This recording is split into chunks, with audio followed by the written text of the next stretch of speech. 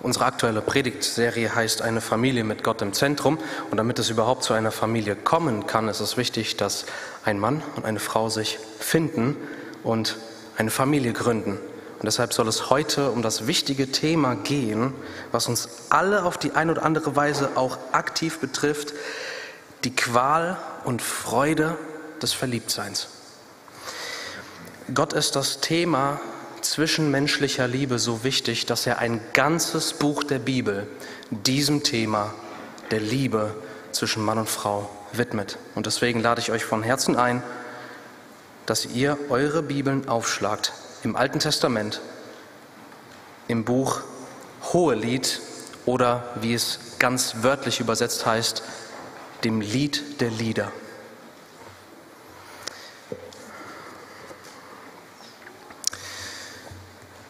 Wer dieses Buch schon mal gelesen hat, der hat wohl schnell verstanden, dass das gar nicht so leicht zu verstehen ist, dieses Buch. Es ist ohne Zweifel eines der am schwersten auszulegenden Bücher der Bibel, wenn nicht sogar das schwierigste, was schlicht und ergreifend daran liegt, dass wir es hier mit circa 3000 Jahre alter Prophetie in hebräischer Sprache äh, äh, Poesie, Verzeihung, Poesie in hebräischer Sprache zu tun haben. Und nicht nur das, sondern es wurde auch viele tausend Kilometer weit weg von hier verfasst, in einer ganz anderen Kultur. Und deswegen, wenn ihr bisher vielleicht sogar etwas verwirrt wurdet durch dieses Buch oder es schwierig war, ist, dann seid ihr, also sitzen wir im selben Boot. Also, ich möchte euch zu Beginn gerne eine Kostprobe geben durch folgendes Zitat. Du wuchsest heran und wurdest groß und du gelangtest zu höchster Schönheit. Deine Brüste rundeten sich und dein Haar wuchs. Und ich ging an dir vorüber und sah dich und siehe, Deine Zeit war die Zeit der Liebe. Und ich breitete meine Zipfel über dich aus. Und du wurdest mein. Wer das Buch einmal gelesen hat, der wird schnell, äh, vielleicht sogar rot angelaufen sein, weil das Buch Hohelied sehr offen spricht. Also unter anderem werden Brüste hemmungslos erwähnt. Die Sache ist, das, was ich euch gerade gelesen habe, stammt nicht aus dem Hohelied. Es stammt nicht aus dem Hohelied, sondern aus dem Propheten Hesekiel. Das, was ich euch gerade gelesen habe, nicht die, sind nicht die Worte eines Mannes zu einer Frau, sondern die Worte Gottes zu seinem geliebten Volk. Das müssen wir direkt zu Beginn verstehen, dass wenn wir jetzt über die Liebe zwischen einem Mann und einer Frau sprechen, da müssen wir uns bewusst machen, dass es so etwas in dieser Schöpfung wie die Ehe und Verliebtsein überhaupt nur deswegen gibt, weil Gott es in dieser Schöpfung etabliert hat, damit dies dazu dient, seine Liebe zu seinem Volk besser zu verstehen und zu erkennen. Und nicht nur das, sondern jedes Mal, wenn wir in unserem Lieben und Verliebtsein auf Enttäuschung stoßen, wie hingezogen zu werden zu dieser einen Liebe, die wirklich vollkommen ist und die auch nicht mit dem Tod endet. Und das ist die Liebe Gottes. Gottes Liebe zu seinem Volk ist so vielschichtig. Als Vater hat er uns zu seinen Kindern gemacht und liebt uns wie seine Kinder. Das heißt, wer von euch Kinder hat, denkt daran, wie, was für eine Art Liebe empfindet ihr für so ein kleines Baby oder Kind auf eurem Arm? Aber Gottes Liebe, sie ist noch viel vielschichtiger, denn Gott liebt uns nicht nur als Vater, als seine Kinder, sondern er liebt uns auch als Bräutigam. Christus liebt uns als Bräutigam wie seine Braut. Die Bibel beginnt mit einer Ehe aber sie endet mit der Hochzeit des Lammes in den letzten Kapiteln der Bibel. Das heißt, die ganze Bibel baut letztendlich darauf auf, dass wir Menschen doch eine Liebe finden sollen, die wirklich überirdisch ist, übernatürlich, allgenügsam, niemals endend. Und der Theologe aus dem 18. Jahrhundert, Jonathan Edwards, er hat es so wunderbar ausgedrückt.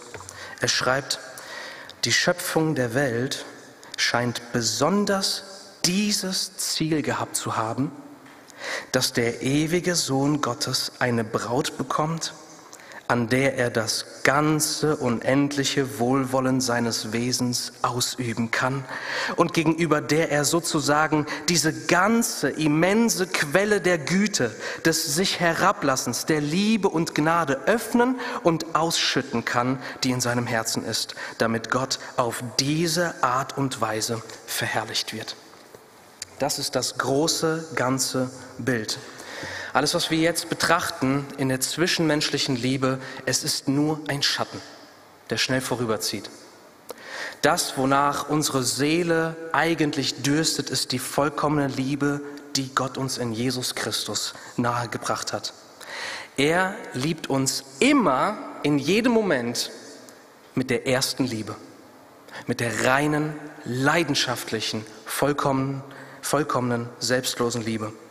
Und er liebt uns mehr, als wir uns jemals überhaupt selbst lieben könnten. Deswegen ist es so unsinnig, wenn wir Menschen hier in dieser Welt leben und, und, und alles hingeben, eigentlich nur deshalb, damit wir geliebt werden. Egal, ob ich selbst mich so sehr dafür einsetze, mich selbst zu lieben, oder indem ich mich letztendlich oft in andere investiere oder für andere Dinge außerhalb von mir einsetze, um letztendlich zu diesem Punkt zu kommen, dass ich die Gewissheit habe, ich bin geliebt. Es ist sinnlos, weil all das wird von uns genommen. Aber Christus liebt uns mehr, als wir uns jemals selbst lieben könnten. Wir sind dafür geschaffen, uns ganz ihm hinzugeben. Wir sind dafür geschaffen, um ganz ihn zu lieben, während er all seine Reichtümer über uns ausschüttet. Wenn du Christus nicht hast, kannst du die beste Ehe haben, die es jetzt gerade hier auf der Welt gibt und du bist ein armer Mensch. Wenn du Christus hast, dann hast du alles. Aber, und jetzt kommen wir zum Thema der zwischenmenschlichen Liebe, unser Weg, wie wir zwischenmenschliche Liebe gestalten, ist nicht der Weg von Jesus. Das liegt daran, dass wir gefallene Kreaturen sind. Die Bibel nennt uns Sünder. Das bedeutet, wenn wir uns selbst überlassen sind und einfach nur ich meinem Herzen folge, dann werde ich letztendlich feststellen, dass mein Plan schlecht war und ich am Ziel vorbei bin. In Sprüche 14.12 heißt es, da ist ein Weg, der einem Menschen richtig erscheint, aber sein Ende sind Wege des Todes. Da gibt es eine Art, wie du dein Liebesleben auf dich allein gestellt angehen würdest. Beziehung, Verlobtsein, Heirat, Hochzeit, Ehe und so weiter. Aber wenn du es aus dir tust, wirst du gegen eine Wand rennen mit voller Geschwindigkeit. Jesus ist so wunderbar, dass er nicht nur selbst die Liebe in Person sein möchte für uns, sondern auch dadurch, dass er uns den Weg hier für diese kurze Zeit auf der Erde zeigt, wie er es gut erdacht und für uns vorgesehen hat. Und in diesem Sinne wollen wir in diesem Buch jetzt beginnen. Ich habe es bereits gesagt, es ist wirklich ein schwer auszulegendes Buch. Aber wie machen wir es denn, wenn wir ein schwieriges Puzzle vor uns haben? Zum Beispiel, habt ihr schon mal sowas gemacht? So ein Puzzle mit 3000 Teilen zusammen äh, gepuzzelt halt. Wie fängt man eigentlich an? Erstmal den Rahmen legen. Das heißt, erstmal das große Ganze und dann ins Detail gehen und das Puzzle fertigstellen. Genau das wollen wir hier machen. Es gibt nämlich eine Stelle in diesem Lied der Lieder, eine Stelle, die absolut klar ist. Und das ist die Hochzeit.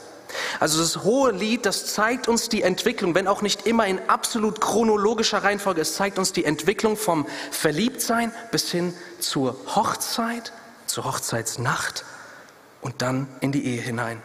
Und deswegen wollen wir jetzt unseren ersten Text lesen. Hohe Lied, Kapitel 3, ab Vers 6. Dort heißt es, Wer ist sie, die da heraufkommt von der Wüste her wie Rauchsäulen, durchduftet von Myrrhe und Weihrauch, von allerlei Gewürzpulver des Händlers? Siehe da, Salomos eigenes Tragbett, 60 Helden rings um es her von den Helden Israels. Sie alle führen das Schwert, sind geübt im Kampf. Jeder hat sein Schwert an seiner Hüfte zum Schutz vor dem Schrecken in den Nächten.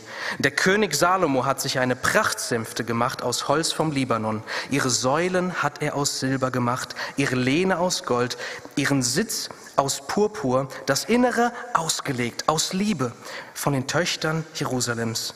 Kommt heraus, Töchter Zions, und betrachtet den König Salomo in der Krone, mit der seine Mutter ihn gekrönt hat. Achtung, am Tag seiner Hochzeit, seiner Vermählung und am Tag der Freude seines Herzens. Also hier findet die Hochzeit statt. Und wir wollen direkt einen Blick auf das werfen, was nach der Hochzeit kommt. Ab hier wird, spricht der Mann seine Frau mit Braut an. Davor nur mit Freundin. Jetzt ist sie seine Braut. Und das möchte ich mit euch teilen, wie die Hochzeitsnacht zustande kommt. Ihr müsst wissen, vieles in dem Buch ist symbolisch. Wenn hier von einem Weinberg oder dem Garten die Rede ist, ihr werdet es merken, dann ist die Rede vom Körper. Hier in diesem Fall vom Körper der Frau. Ich lese uns Kapitel 4 ab Vers 9. Du hast mir das Herz geraubt, meine Schwester, meine Braut. Du hast mir das Herz geraubt mit einem deiner Blicke, mit einer Kette deines Halsschmucks. Wie schön ist deine Liebe, meine Schwester, meine Braut. Wie viel besser ist deine Liebe als Wein und der Duft deiner Salben als alle Gewürze. Honigseim träufeln deine Lippen, meine Braut. Honig und Milch ist unter deiner Zunge und der Duft deiner Gewänder ist wie der Duft des Libanon. Ein verschlossener Garten ist meine Schwester, meine Braut. Ein verschlossener Born, eine versiegelte Quelle. Was dir entsprost, ist ein Lustgarten von Granatbäumen und edlen Früchten, Zyperblumen samt Naden, Nade und Safran, Würzrohr und Zimt samt aller, allerlei Weihrauchgehölz, Myrrhe und Aloe samt allen vortrefflichsten Gewürzen, eine Gartenquelle, ein Brunnen lebendigen Wassers und Bäche, die vom Libanon fließen. Das war der Bräutigam seine Frau ist noch ein verschlossener Garten, sie ist Jungfrau.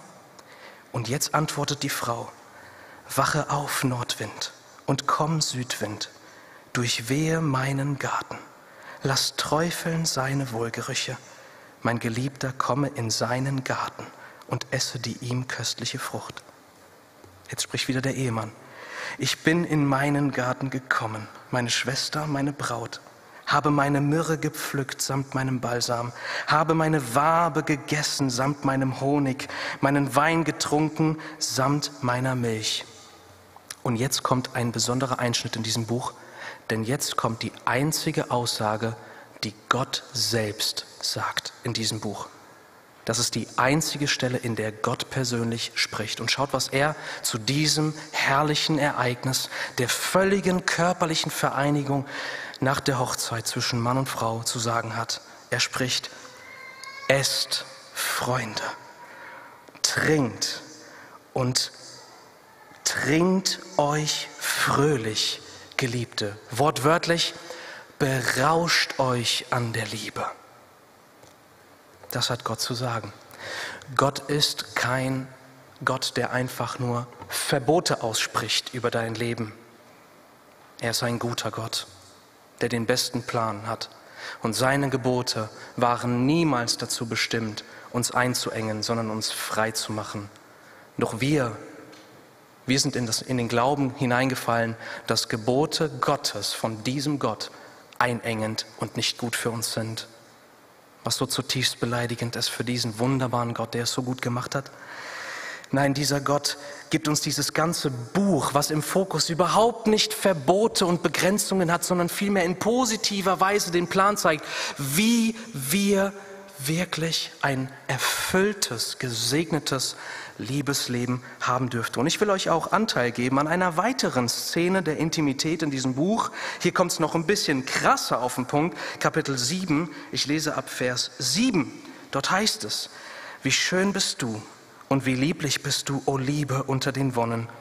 Dieser, dein Wuchs, gleicht der Palme und deine Brüste den Trauben. Ich sprach, ich will die Palme ersteigen will ihre Zweige erfassen, und deine Brüste sollen mir sein wie Trauben des Weinstocks, und der Duft deiner Nase wie Äpfel, und dein Gaumen wie der beste Wein, der meinem Geliebten sanft heruntergleitet, der über die Lippen der Schlummernden schleicht. Also, ihr Lieben, dies ist das Wort Gottes, okay? Gott freut sich daran, wenn wir im Rahmen der Ehe, nach der Hochzeit, einander völlig sexuell gegenseitig genießen und einander auf diese Art und Weise erfreuen. Doch wir werden sehen, dass es auch Gefahren gibt. Und jetzt kommen wir zu den eigentlichen zwei Hauptpunkten, nämlich die Qual des Verliebtseins und die Freude des Verliebtseins. Doch Zwei Fragen werden in diesem Buch Hohelied nicht beantwortet, deswegen in aller Kürze. Hier beginnt nämlich das Buch direkt beim Verliebtsein. Es beginnt nicht bei der Frage, wer denn überhaupt und wann denn überhaupt. Deswegen nur einfach hier. Für alle jungen Leute, für alle Eltern, die heranwachsende Kinder haben. Wir sehen in 1. Mose Kapitel 2, 24, wie Gott es gedacht hat, dass ein Mann Vater und Mutter verlassen wird, um seiner Frau anzuhängen und die beiden werden ein Fleisch werden. Gott hat es sich nicht gedacht, dass Kinder Beziehungsexperimente machen und während sie selbst am Erwachsenwerden sind, es sich auch noch über die Maßen schwerer machen, dass sie währenddessen auch noch jemanden kennenlernen wollen und einen beträchtlichen Zeit, ein beträchtliches Maß ihrer Zeit in einen anderen Menschen, der selbst auch am Erwachsenwerden ist und gar nicht ein erwachsener Mann, eine erwachsene Frau ist, einfach nur investieren sondern dass wir dann eine Beziehung suchen, wenn wir nach einem Partner fürs Leben suchen. Wer? Und für uns Christen gilt, die Person soll gläubig sein. Nicht nur sagen, ja klar, ich bin Christ, sondern es muss im Leben erkennbar sein, bei aller Unvollkommenheit, dass die Person wirklich ein gläubiges, wiedergeborenes Kind Gottes ist dass ihr den gleichen Vater im Himmel habt. Denn wenn dies nicht der Fall ist, dann habt ihr zwei völlig entgegengesetzte Lebensziele. Und warum willst du dich mit einem Menschen so nah vereinigen, um für völlig unterschiedliche Dinge zu leben? Ihr, habt ein, ihr hättet ein völlig unterschiedliches Verständnis von Liebe und dem Wesen der Liebe, um, Umgang mit Geld, Umgang mit Besitz, der Rolle von Mann und Frau, Kindererziehung, dem Gebrauch eurer Zeit und natürlich Moral, was das Ziel des Lebens ist und so weiter. Deshalb sagt Gott es so klar, 2. Korinther 6, 14, wir sollen nicht in einem ungleichen Joch mit Ungläubigen sein. Das sehen wir als Vorbild im Alten Testament und wir sehen es im Neuen Testament bekräftigt, dass wir als Ehepaar uns vereinigen wollen, um gemeinsam verstärkt das höchste Ziel zu verfolgen, zur Ehre des Herrn zu leben und ähm, einzutauchen in die große und ewige Liebes Liebesgeschichte zwischen Christus und seiner Braut. Das sehen wir auch in 1. Korinther 7, Vers 39, wo Paulus sagt, dass wir als Gläubige nur im Herrn heiraten dürfen. So formuliert er es da. Das heißt, und ich sage das so mutig, ein wiedergeborenes Kind Gottes muss doch nicht streng ermahnt werden, um das als Ziel zu haben, oder? Also wie könntest du etwas wollen, was dich in deiner Nachfolge, in deiner Liebe zu Christus, in deinem Lebensziel so ausbremst wie jemand, der noch unter der Macht des Bösen steht?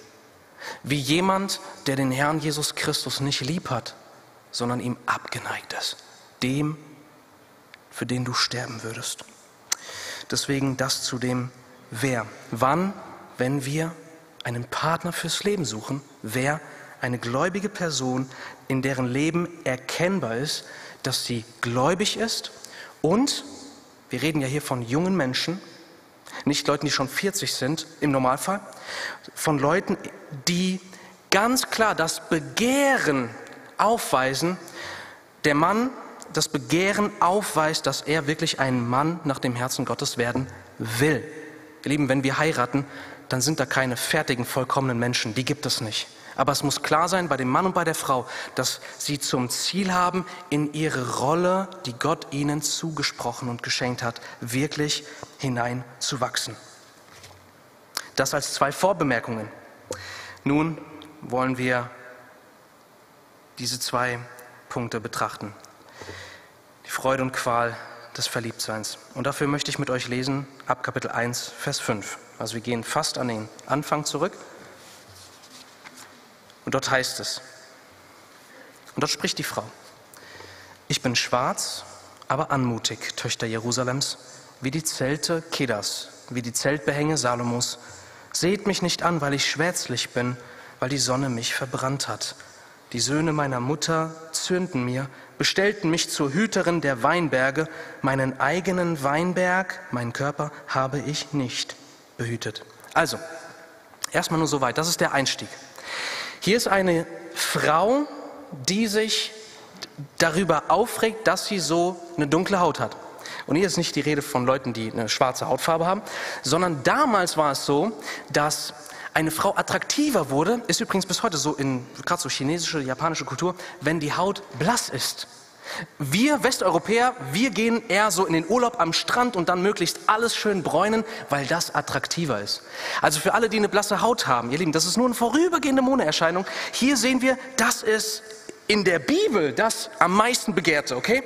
Und sie musste aber unter der prallen Sonne arbeiten. Ihre Brüder haben sie in die Weinberge geschickt, deshalb wurde sie stark von der Sonne gebräunt und hat deshalb so ein bisschen selbst, äh, ja, Selbstzweifel bekommen, was ihr Aussehen angeht. Das ist also der Fall. Meinen eigenen Weinberg, sagt sie, meinen Körper habe ich nicht behütet. Wir lesen weiter. Ab Vers 7. Sage mir an, du, den meine Seele liebt, wo weidest du? Wo lässt du lagern am Mittwoch? Denn warum sollte ich wie eine Verschleierte sein bei den Herden deiner Genossen?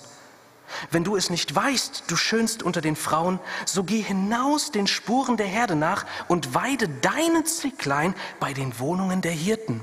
Also, ich muss das erklären. Eigentlich, wenn ihr es ein paar Mal durchlest, dann geht euch das selbst spätestens dann klar auf. Aber hier ist eine junge Frau und sie möchte gerne, da ist ein Mann, den sie attraktiv findet, aber sie weiß nicht, wie sie in seine Nähe kommen kann. Und dann kommen ihre Freundinnen, sie machen ihr erstmal Mut, du bist schön. Ist ganz wichtig, ja, dass die Frauen, denen ist das ein großes Anliegen, ihr braucht Freundinnen, die euch Zuspruch geben, die euch ermutigen. Und dann geht es weiter. Sie haben einen super Rat. Ihr Lieben, das, das ist über 3000 Jahre alt. Bis heute hat sich nichts geändert. Die Freundinnen arrangieren etwas. Nimm doch deine Zicklein und geh in die Nähe, wo er seine Herde hütet. Ganz zufällig. Das heißt, das ist auch so eine Ermutigung an die jungen Männer. Ich hoffe, der Schuss geht niemals nach hinten los. Aber wenn eine bestimmte junge Dame aus der Gemeinde immer mal wieder deine Wege kreuzt, dann ist es nicht unwahrscheinlich, dass da ein Plan dahinter steht. Wir wollen weitergehen ab Vers 9. Hier spricht wieder der Freund. Einer Stute an des Pharaos Prachtwagen vergleiche ich dich, meine Freundin. Anmutig sind deine Wangen in den Kettchen, dein Hals in den Schnüren. Wir wollen dir goldene Kettchen machen und mit Punkten aus Silber. Während der König an seiner Tafel war, gab meine Nade ihren Duft. Mein Geliebter ist mir ein Bündel Myrrhe, das zwischen meinen Brüsten ruht. Eine Zypertraube ist mir mein Geliebter in den Weinbergen von Engedi. Siehe, du bist schön, meine Freundin, siehe, du bist schön, deine Augen sind Tauben. Siehe, du bist schön, mein Geliebter, ja, holdselig, ja, unser Lager ist frisches Grün, die Balken unseres Hauses sind Zedern, unsere, unser, unser Getäfel Zypressen. Aber wir wollen jetzt sehen, dass Verliebtsein im Grunde genommen zwei Dinge beinhaltet. Vom Gefühl her beinhaltet das Freude und Qual, das sehen wir auch gleich. Aber von der Praxis beinhaltet es zwei Dinge. Erstens, einander begehren. Das ist gut, das ist richtig, das ist Gott gewollt. Und zweitens, einander bewahren vor der Hochzeit. Leicht zu merken, einander begehren und einander bewahren. Zunächst mal das Erste einander begehren. Wir sehen das bei der Freundin. Sie sehnt sich danach, in die Nähe des Freundes zu kommen. Der Freund sehnt sich nach seiner Freundin. Er möchte bei ihr in der Nähe sein. Also sie haben Sehnsucht nacheinander. Wo kann ich dich sehen? wird gefragt. Und das ist gut. Und dann bekommt sie, wie gesagt, Hilfe. Es wird ein Treffen arrangiert. Es beginnt eine Freundschaft, eine Beziehung. Und dann werden Komplimente gemacht und Geschenke gemacht. Und wir sehen hier natürlich, der Mann ist hier eindeutig der Initiator. Wollen, er macht dir erstmal Komplimente. Ich vergleiche dich mit einer Stute an des Pharaos Prachtwagen. Ja, die Frage ist, also wer sich jetzt fragt, äh, wer jetzt gerade äh, verliebt ist, ich weiß nicht. Das ist inspiriertes Wort Gottes, ohne Frage, aber ähm, ich weiß nicht, ob das verstanden wird. Deswegen, aber er macht dir Komplimente. Anmutig sind deine Wangen in den Kettchen, dein Hals in den Schnüren. Aber ganz wichtig, der Mann erwähnt nicht die Brüste oder den Hintern der Frau oder irgendetwas, was von Kleidung bedeckt ist. Was er erwähnt, ist das Gesicht, die Haare, der Hals. Er erwähnt alles, nachdem sie vermählt sind. Ganz wichtig. Und hier auch ein, Hinweis, ähm, ihr Lieben, wenn eine Beziehung begonnen wird, dann ist es so wichtig, nicht dem Zufall zu überlassen, in welche Richtung diese Beziehung geht. Sobald wir anfangen, mit Worten beginnt ja alles, bevor Taten folgen, einander verbal anzunähern und die Leidenschaften zu entzünden, das läuft heute häufig bei jungen Leuten über WhatsApp, weil die jungen Leute auch heute stark die Tendenz haben, dass man gar nicht mehr das von Angesicht zu Angesicht sagen kann. Man ist viel unmutiger geworden in unserer Zeit. Man steht nicht seinen, seinen erwachsenen Menschen, dann schreibt man sich und da werden Grenzen überschritten.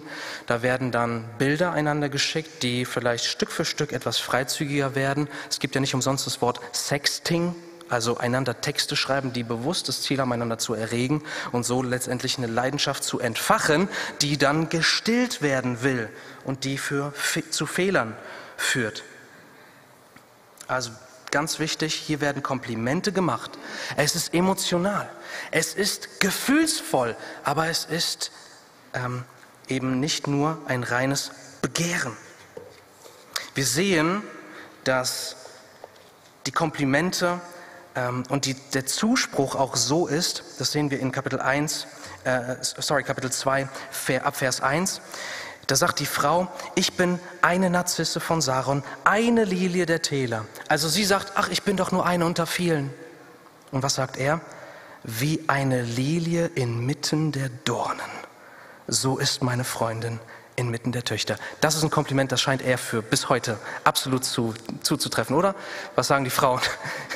Also sie sagt, ah, ich bin eine Lilie und er sagt, nein, du bist, du bist, du bist eine Lilie, aber alle anderen Frauen sind Dornen. Das bedeutet auch, dass wenn du jemanden ins Auge fasst, dass du nicht mit mehreren Lilien spielst, dass du nicht mit Herzen spielst und dir mehrere Wege offen hältst, sondern dass du einen Menschen näher kennenlernst, um dann zu einer Entscheidung zu kommen, natürlich in beidseitigem Einvernehmen, selbstverständlich, ob ihr einander heiraten wollt. Einander zu begehren und zu umwerben ist von Gott gewollt, aber eben auch das einander zu bewahren. Und hier haben wir einen wunderbaren Text, Kapitel 2 ab Vers 3. Wie ein Apfelbaum unter den Bäumen des Waldes, so ist mein Geliebter inmitten der Söhne. Also das kommt auch von ihrer Seite, sehen wir. Ich habe mich mit Wonne in seinen Schatten gesetzt und seine Frucht ist meinem Gaumen süß. Er hat mich in das Haus des Weines geführt und sein Banner über mir ist Liebe. Also sie daten sich. Er hat sie in das Haus des Weines geführt, er hat sie wahrscheinlich zum Essen eingeladen in ein Restaurant. Stärkt mich mit Traubenkuchen. Erquickt mich mit Äpfeln, denn ich bin krank vor Liebe. Seine Linke ist unter meinem Haupt und seine Rechte umfasst mich. Ich beschwöre euch, Töchter Jerusalems, bei den Gazellen oder bei den Hirschen des Feldes, dass ihr weder weckt noch stört die Liebe, bis es ihr gefällt. Horch, mein Geliebter, Siehe, da kommt er, springt über die Berge, hüpft über die Hügel. Mein Geliebter gleicht einer Gazelle oder einem Jungen der Hirsche. Siehe, da steht er hinten unter, hinter, unter der Mauer, schaut durch das Fenster. Also wir sehen hier, sie beobachten einander, sie treffen einander. Aber eben nicht nur das, ich springe jetzt mal etwas weiter. Es heißt dann in Vers äh, er macht ihr ein Kompliment und signalisiert, er, er würde gerne mehr von ihr sehen.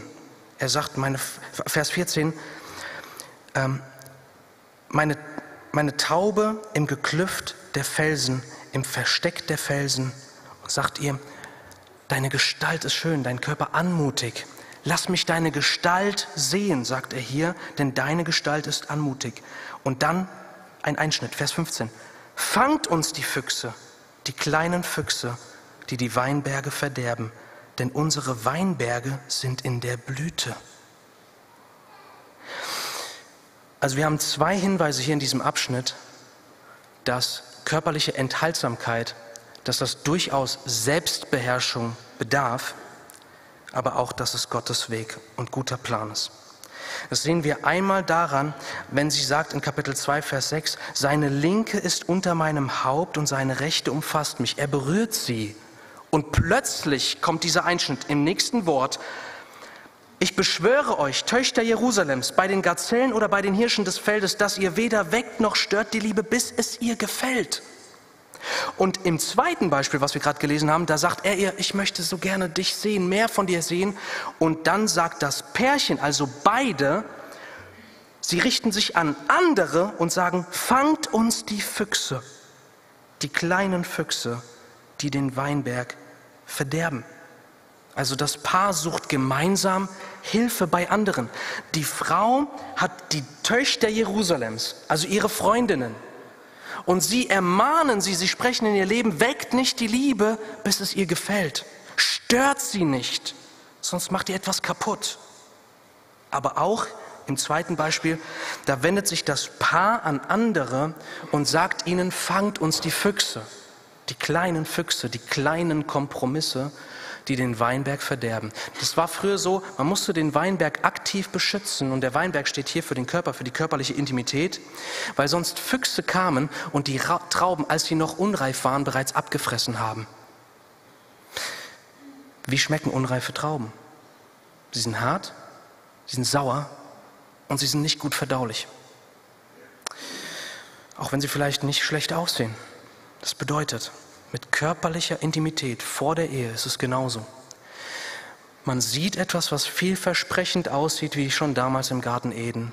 Man beißt hinein in die Frucht, doch es wird letztendlich sauer und wir müssen feststellen, nein, hätte ich doch lieber dem guten Herrn Jesus vertraut. Das heißt, hier ist die Ermutigung, erstens, sich klare Grenzen zu setzen und zweitens, nicht sich selbst überlassen zu sein als Pärchen, sondern andere, vielleicht ein verheiratetes Ehepaar in der Gemeinde haben, was eine aktive Betreuung schenkt, eine aktive Freundschaft, sodass, wenn etwas schiefgelaufen ist, egal ob es jetzt einfach ein schlimmer Streit ist oder Übergriffe in der Intimität, dass jeder jemanden hat, zu dem er gehen, bei dem er seine Sünde bekennen kann, bei dem er Hilfe und Zuspruch bekommt und auch den Zuspruch der Vergebung von Jesus Christus, wenn diese Sünde bekannt und bereinigt ist. Also wir brauchen Befürworter, wir brauchen Beschützer und Unterstützer im Verliebtsein. Es darf kein Egoakt sein. Wir wollen uns nicht einfach gehen lassen. Und ihr Lieben, das ist so wichtig. Manchmal denken vor allen Dingen junge Männer, dass sie nur vor der Ehe Enthaltsamkeit brauchen. Aber nicht mehr, wenn sie verheiratet sind. Ich kann euch nur empfehlen, wenn ihr mit einem Menschen eine Beziehung eingeht und feststellt, dieser Mensch will an euren Körper ran, dieser Mensch wird der sein, der die starke Tendenz hat, später fremd zu gehen. Egal ob durch Bilder, egal ob nur durch Blicke auf andere Frauen oder durch Pornografie bis hin zur reellen Tat, die folgen kann. Das bedeutet, wir müssen uns vor Augen halten, diese Enthaltsamkeit, die wir im, im Modus der Freundschaft und der Verlobung erfahren, die ist ganz wichtig für uns. Und Gott hat es nun mal so gemacht, dass Männer und Frauen nicht erst dann plötzlich sexuelle Lust empfinden, in dem Moment, wenn sie geheiratet haben, sondern schon früher. Denn wir brauchen es dringend, im Erwachsenwerden Selbstbeherrschung zu lernen. Wir, wir, halten das in jedem Lebensbereich für notwendig. Wenn ich mich einfach gehen lasse in der Schule, kriege ich eine 6. Wenn ich mich einfach gehen lasse im Essen, dann kriege ich einen dicken Bauch. Aber in der Liebe wird uns heute signalisiert, folge deinen Impulsen und sei wer immer und wo immer es dich hintreibt. Nein, wir brauchen Enthaltsamkeit. Wir sehen, was auch dabei eine Hilfe ist. In Kapitel 1, 16, 17, schaut da nochmal rein. Sie treffen sich nicht privat, sondern öffentlich. Siehe, du bist schön, mein Geliebter, ja holdselig. Ja, unser Lager, wo wir uns treffen, ist frisches Grün. Die Balken unseres Hauses sind Zedern, unser Getäfel Zypressen. Das bedeutet, der Ort, wo sie sich treffen, ist die freie Natur. In der Öffentlichkeit wo sie gesehen werden können.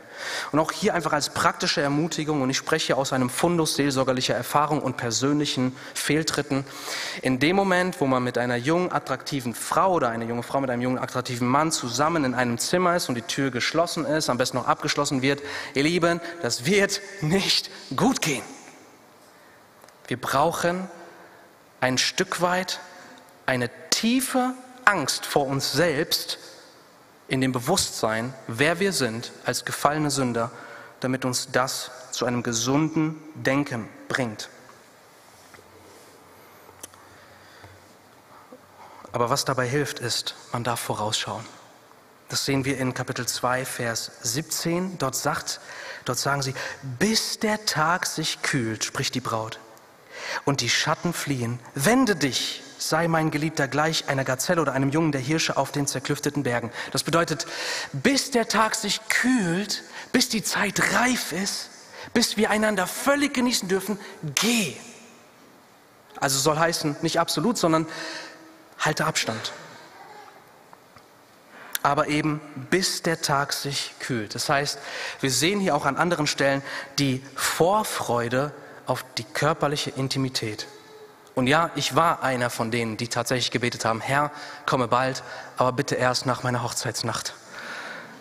Also, ich weiß nicht, ob man das Gebet beten sollte, aber ich glaube, der Herr versteht es, vor allem wenn wir eben ihm vertrauen und uns wirklich darauf freuen und darauf freuen dürfen, unseren Partner wirklich ohne Grenzen zu genießen und zu kennen. Die wenn die Frage in unserer Beziehung lautet, wie weit darf ich gehen? Und diese Frage habe ich schon oft gehört. Bis wohin ist es in Ordnung? Das offenbart schon die völlig falsche Gesinnung, ihr Lieben. Weil man sich die Frage stellt, wie weit kann ich Gottes Gebot, was mir eine Grenze setzt, die ich ja eigentlich nicht selbst wählen würde, wie weit kann ich das ausreißen, sodass ich gerade noch so nicht sündige? Das offenbart so viel Misstrauen unserem Herrn Jesus gegenüber. Das heißt, die Frage sollte nicht lauten, wie weit darf ich gehen, sondern schlicht und ergreifend, wie kann ich mich in Jesus bewahren? Und wie kann ich meinen Partner, meine Partnerin wirklich bewahren? Ihren Körper wertschätzen und nicht Hand an sie legen, bevor ich nicht die absolute Verpflichtung eingegangen bin, dass ich diese Frau schützen und lieben werde und mein Leben für diese Frau hingeben werde. Davor hat keiner ein Recht, die Hand anzulegen, eine Frau. Klar kann man über Händchen halten sprechen, gut, das sind so, das sind so Detailfragen, wisst ihr, aber der Grundsatz, der Grundtenor, der muss einfach äh, für uns im Innern klar sein und danach sollen wir streben. Ihr Lieben, ich komme zum Schluss. Gott hat uns Beziehung geschenkt und wir dürfen tatsächlich einander suchen, einander begegnen, in Beziehung treten, Tacheles reden, einander begehren und gleichzeitig sollen wir mit der Hilfe anderer und weisem Rat lernen und von Anfang an einander bewahren, die Intimität des anderen schützen bis zur Eheschließung. Ich wende mich an diejenigen unter uns, die hier vielleicht jetzt gerade Fehltritte getan haben.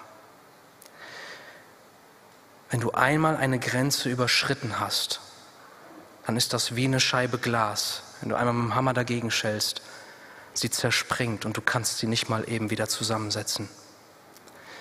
Was ihr braucht, wenn das eure Lebensrealität ist, ist erstens, versteckt es nicht vor Gott, versteckt es nicht voreinander.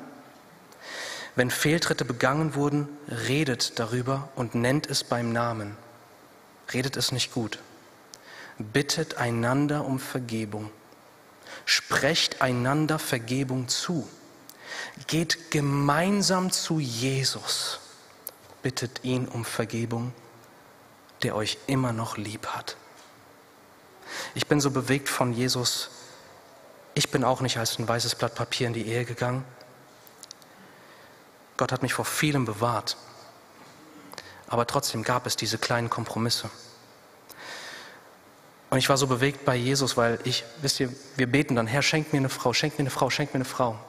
Und dann finde ich sie, die Frau meiner Träume.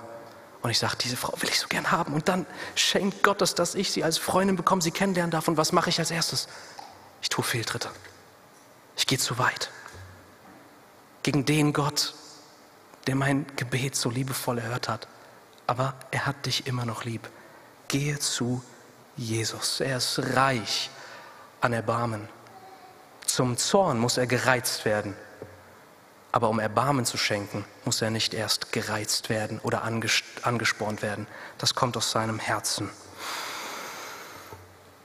Ich wende mich an diejenigen, die noch keine Beziehung eingegangen sind, aber es sich wünschen.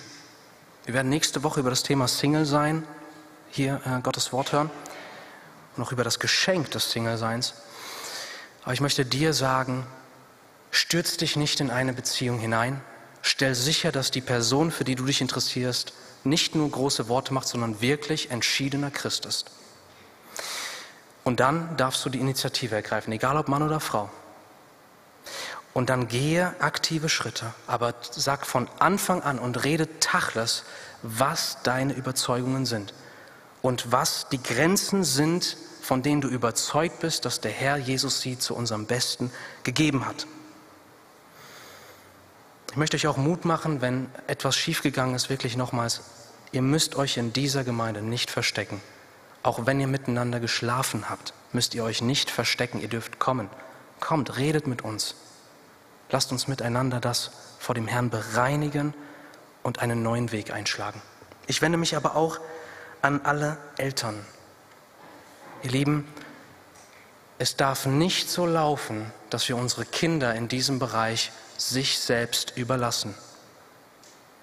Deswegen ermutige ich euch, fangt so früh als möglich, sobald es irgendwie angebracht scheint, nicht erst, wenn es soweit ist, an, über Sexualität, Intimität, Ehe, Beziehung, Verlobtsein mit euren Kindern in einer begeisterten Art und Weise über die über die Herrlichkeit von Gottes Plan zu reden, sie zu lehren, ihre Herzen förmlich schon dahin zu leiten, dass sie sich darauf freuen, es richtig zu machen. Und das ist möglich. Durch Gottes Gnade ist dies möglich. Und wenn ihr eure Kinder seht, dass sie mit 12, 13 Jahren da irgendwie anfangen, eine Beziehung einzugehen, sich privat zu treffen, ich mache euch Mut, wir haben jetzt nicht die Zeit, jede Detailfrage von hier vorne zu beantworten, aber sie sind eure Kinder und sie sind unter eurer gottgegebenen Autorität. Und es ist nicht ein Ich liebe mein Kind, wenn du das zulässt, sondern es ist eine Vernachlässigung deines Kindes. Deswegen nimm deine Tochter, nimm deinen Sohn, fang heute an darüber zu reden Und wenn du merkst, dass da schon krasse Abweichungen sind, ja, du hättest schon viel früher mit deinem Kind darüber reden sollen, aber das darfst du jetzt nicht als Entschuldigung nehmen, dass du sagst, ja, jetzt kann ich nichts mehr sagen. Das wäre ja doof. Nein, kündige dein Hobby, was du gerade hast, und nimm diese Zeit, um ganz in dein Kind zu investieren, was dich gerade so sehr braucht. Mach da klare Prioritäten. Und wenn wir als Eltern versagt haben, ihr Lieben, wir können es nicht ändern. Aber was wisst ihr, was wir können? Wir können um Vergebung bitten. Unsere Kinder. Wir können sie um Vergebung bitten. Und ich wende mich zuletzt an uns. Denn ich schließe, womit ich begonnen habe. Es geht im tiefsten Kern um die Beziehung, die Liebesbeziehung zwischen Christus und seiner Braut. Jesus liebt so leidenschaftlich. Und wenn meine Liebe zu ihm wie ein Tropfen ist, dann ist seine Liebe zu mir wie ein Ozean. Ein Ozean ohne Ufer und Grund. Aber dieser Jesus wirft seine Liebe nicht einfach irgendwo hin, als wäre diese Liebe eine Sache, denn diese Liebe ist in ihm. Er ist die Liebe und es gefällt unserem Gott, uns Anteil an dieser Liebe zu geben, uns seine Liebe wirklich erfahren und erleben zu lassen, wenn wir zu ihm kommen. Und es stört seine Liebe, wenn wir ihm fremd gehen und andere Liebhaber haben in unserem Leben. In Jakobus 4 werden wir Gläubige ermahnt mit so klaren Worten. Ihr Ehebrecherinnen, wisst ihr nicht, dass die Freundschaft mit der Welt Feindschaft gegen Gott ist? Vielleicht ist das, was du gerade erlebst, die Liebe von Jesus wirkt für dich sehr theoretisch, spricht dich nicht sonderlich an. Aber du bist gut befreundet mit der Welt oder irgendetwas in dieser Welt, was dir dieses Gefühl des Geliebtseins gibt oder der Freude. Das Wunderbare ist, dass Gott in diesem Abschnitt, was wir niemals tun würden, wenn jemand uns fremdgegangen ist, er streckt die Hand aus und sagt uns, naht euch zu Gott und er wird sich zu euch nahen. Demütigt euch vor dem Herrn und er wird euch erhöhen. Reinigt eure Hände, ihr Sünder. Komm zu mir. Er sagt nicht, geh weg, sondern er sagt, komm. Das heißt, ich ermutige dich von ganzem Herzen, dass du deine Liebe zu Christus erneuerst. Dass du zurückkehrst zur ersten Liebe. Dass du allen anderen Liebhabern absagst, die Nummern löschst, im übertragenen Sinn. Dass du ganz dein Herz Christus gibst. Und du wirst erleben, da ist, wonach du dich sehnst. Amen.